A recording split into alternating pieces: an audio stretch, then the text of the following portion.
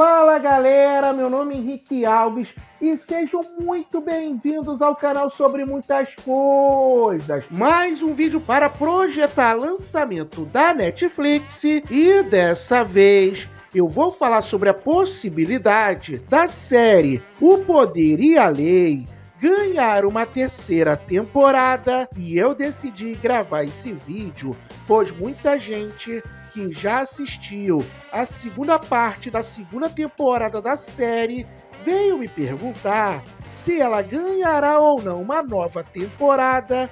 E quem me acompanha aqui no canal sabe o quanto eu curto fazer esse quadro e também sabe que eu não gosto de ficar enrolando, e é por causa disso que eu já começo dizendo que no dia que eu estou gravando esse vídeo, a Netflix e as produtoras responsáveis pela série ainda não confirmaram se ela ganhará uma terceira temporada, porém, as chances dessa renovação acontecer são imensas, até porque O Poder e a Lei é a principal série original de tribunal da plataforma de serviço de streaming e além disso, ela tem números incríveis de audiência. E se essa renovação realmente acontecer, eu acredito que o terceiro ano da série estaria chegando aqui no Brasil entre julho e dezembro do ano que vem. E você já assistiu a segunda parte